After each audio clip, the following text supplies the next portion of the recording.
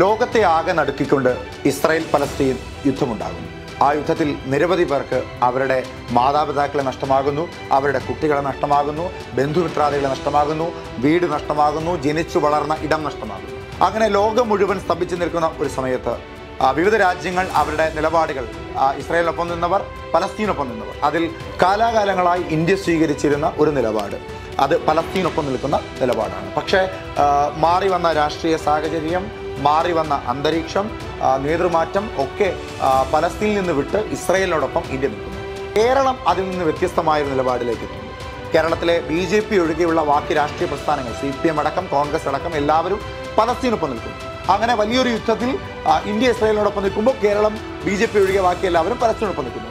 പക്ഷേ ഏറ്റവും സങ്കടകരമായ കാര്യം ഏറ്റവും ദയനീയമായ ഒരു കാര്യം വലിയൊരു വംശഹത്യാ വിഷയവുമായി ബന്ധപ്പെട്ടുകൊണ്ട് ആ വംശഹത്യാ വിഷയത്തെ ഈ പറയുന്ന കോൺഗ്രസും സി പി എമ്മും ലീഗും ഒക്കെ തങ്ങളുടെ രാഷ്ട്രീയ ലാഭത്തിന് വേണ്ടി ഉപയോഗപ്പെടുത്തുന്നു എന്ന് പറയുന്നത് വളരെ ദയനീയമായ ഒരു കാര്യമാണ്. എന്താണെന്ന് വെച്ച് കഴിഞ്ഞാൽ ഇത്തരത്തിൽ ഒരു ഐക്യദാർഢ്യ സഭ ലീഗിന്റെ നേതൃത്വത്തിൽ കോഴിക്കോട് നടക്കുന്നു. കോഴിക്കോട് നടക്കുമ്പോൾ അവിടേക്ക് ശശി തരൂരിനെ ക്ഷണിക്കുന്നു.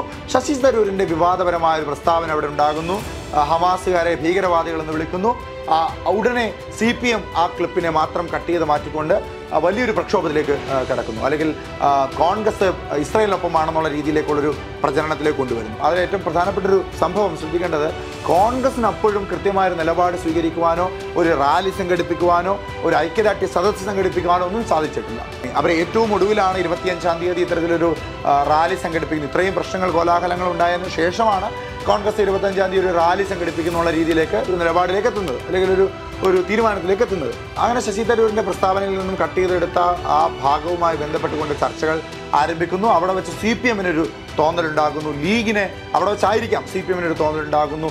ലീഗിനെ തങ്ങളുടെ പാളയത്തിലേക്ക് ക്ഷണിക്കാം. അതിന്റെ ഭാഗമായി അതിന്റെ തുടക്കമായി അവർ നടത്താൻ പോകുന്ന ഐക്യദാർഢ്യ സദസ്സിലേക്ക് പലസ്തീൻ അനുകൂലമായുള്ള ഐക്യദാർഢ്യ സദസ്സിലേക്ക് ലീഗിനെ ക്ഷണിക്കാമെന്ന ഒരു തീരുമാനത്തിലേക്ക് അങ്ങനെ ലീഗിനെ ക്ഷണിക്കുന്നു. അവിടെ അവരുദ്ദേശിക്കുന്നത് നമുക്ക് എല്ലാവർക്കും അറിയാം. പിന്നെ എല്ലാ അരിയാഹാരം കഴിക്കുന്ന എല്ലാവർക്കും മനസ്സിലായതുപോലെ ലീഗിനെ മാത്രം ക്ഷണിക്കുന്നു. കോൺഗ്രസിനെ ക്ഷണിക്കുന്നില്ല. കോൺഗ്രസിനോട് അവർക്ക് വിരോധമാണെന്ന് തന്നെ ഇരിക്കട്ടെ. പിന്നെ ലീഗിനോട് അവർക്ക് പൊരുത്തപ്പെടലാണെന്ന് തന്നെ ഇരിക്കട്ടെ. ലീഗ് അല്ലാതെ മറ്റ് സംഘടനകൾ കോൺഗ്രസിനോടൊപ്പം നിൽക്കുന്ന മറ്റ് രാഷ്ട്രീയ സംഘടനകൾ ഒട്ടനവധിയുണ്ട് ഇടതുപക്ഷത്തിന്റെ സ്വഭാവവുമായി ചേർന്ന് നിൽക്കുന്ന സംഘടനകളുണ്ട്.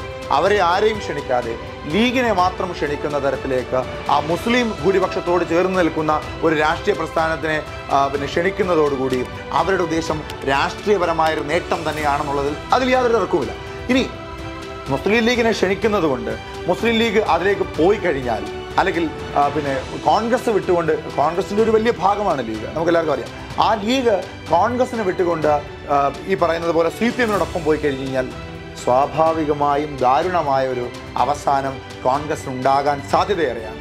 അങ്ങനെ ഉണ്ടായാൽ സി പി എം അതായത് ലീഗ് സി പി എമ്മിനോടൊപ്പം പോയി കഴിഞ്ഞാൽ അടുത്ത ഭരണ കാലഘട്ടത്തിൽ അടുത്ത തെരഞ്ഞെടുപ്പിൽ സി പി എം വലിയൊരു ശക്തിയായി മാറുകയും ലീഗും സി പി എമ്മും കൂടെ ചേർന്നുകൊണ്ടുള്ള ഒരു ഒരു ഭരണം ഉണ്ടാവുകയും അപ്പുറത്ത് പ്രതിപക്ഷമായി ബി ജെ പി വരെ വരാൻ സാധ്യതയും ഏറെയാണ്. ലീഗിലേക്ക് വരുമ്പോൾ ലീഗ് അത്തരത്തിൽ ഈ വിഷയവുമായി ബന്ധപ്പെട്ട് ലീഗിന്റെ അരികിലേക്ക് സി പി എം എത്തുമ്പോൾ കൃത്യമായൊരു നിലപാട് അല്ലെങ്കിൽ ഞങ്ങൾ വരുന്നില്ല എന്നൊരു നിലപാട് അവിടെ അവർ സ്വീകരിക്കുന്നില്ല. അല്ലെങ്കിൽ അവർ അവർ വരുന്നു എന്നൊരു നിലപാട് പിന്നെ അവർ സ്വീകരിക്കുന്നില്ല. അതായത് ഐക്യകണ്ഠന തീരുമാനിക്കുന്നില്ല. ചിലർ സി പി എം ക്ഷണിച്ചാൽ പോകുമെന്ന് പറയുന്നു. ചിലർ സി പി എം ക്ഷണിച്ചാൽ പോകില്ല എന്ന പക്ഷത്തുള്ള രണ്ട് കൂട്ടം ആളുകൾ ലീഗിനുള്ളിലുണ്ടാകും.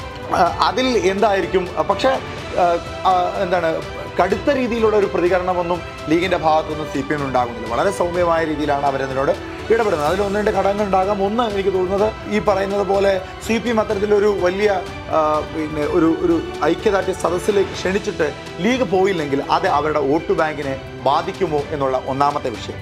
രണ്ട് സി പി എമ്മിനോടൊപ്പം നിൽക്കുന്നതാണോ കോൺഗ്രസിനോടൊപ്പം നിൽക്കുന്നതാണോ വരുന്ന തെരഞ്ഞെടുപ്പുകളിൽ തങ്ങൾക്ക് ഗുണം എന്ന രണ്ടാമത്തെ ഒരു അവരുടെ ഒരു ആശങ്ക. മൂന്നാമത്തത് കോൺഗ്രസിനോടൊപ്പം നിൽക്കുമ്പോൾ അവരുടെ പലതരത്തിലുള്ള വാദങ്ങൾ അല്ലെങ്കിൽ അവരുടെ ആവശ്യങ്ങൾ ഉന്നയിച്ച് നേടിയെടുക്കുവാനുള്ള സാധ്യതകൾ. കളം ഏറ്റവും അവർക്ക് ഏറ്റവും ഭദ്രമായ കളം കോൺഗ്രസ് ആണ് മന്ത്രിസ്ഥാനം അടക്കമുള്ള കാര്യങ്ങൾ ചോദിച്ചു വാങ്ങാനുള്ള ഏറ്റവും ഭദ്രമായ ഇടം കോൺഗ്രസ് ആണ് എന്നുള്ള ധാരണകളൊക്കെ ആകാം.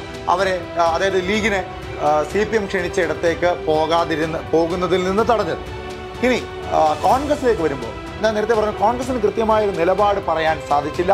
കോൺഗ്രസ് പറഞ്ഞെങ്കിൽ തന്നെ ഞാൻ നിലപാട് പറഞ്ഞെങ്കിൽ തന്നെ ആ നിലപാടുകളിൽ പല വ്യതിചലനങ്ങളും ഉണ്ടാകുന്ന തരത്തിൽ പിന്നെ വാർത്തകൾ വരുന്നു. അല്ലെങ്കിൽ കോൺഗ്രസിന് കൃത്യമായൊരു നിലപാട് സ്വീകരിക്കാൻ കഴിഞ്ഞിട്ടില്ല എന്ന് സി പി എമ്മിന്റെ ഭാഗത്തു നിന്നുള്ള പ്രചാരണങ്ങൾ ഉണ്ടാകും. കോൺഗ്രസിന് ഇനി കോൺഗ്രസിന് പറ്റിയ പാളിച്ചകൾ എന്തൊക്കെയാണ്?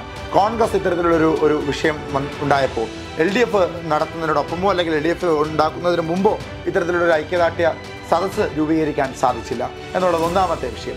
രണ്ടാമത്തെ പ്രധാനപ്പെട്ട ഒരു കാര്യം ആര്യാടൻ ഷൗക്കത്തുമായി ബന്ധപ്പെട്ട വിഷയമാണ്. അത് കോൺഗ്രസിന് വലിയ ക്ഷീണം ഉണ്ടാക്കിയിട്ടുണ്ട് ഇവിടെ പലസ്തീൻ ഇസ്രായേലുമായി ബന്ധപ്പെട്ട വലിയൊരു വിഷയം ഉണ്ടാകുമ്പോൾ സി പി എം ഒരു ഭാഗത്ത് അതിനെ ലീഗിനെ കോൺഗ്രസിൽ നിന്ന് നടത്തിയെടുത്തുകൊണ്ടുള്ള ഒരു രാഷ്ട്രീയം കളിക്കാൻ ശ്രമിക്കുമ്പോൾ കോൺഗ്രസ് അതിന്റെ ഗ്രൂപ്പ് സംവിധാനവുമായി ബന്ധപ്പെട്ടുകൊണ്ടുള്ള ഒരു രാഷ്ട്രീയം കളിക്കാൻ വേണ്ടി ശ്രമിക്കുന്നു.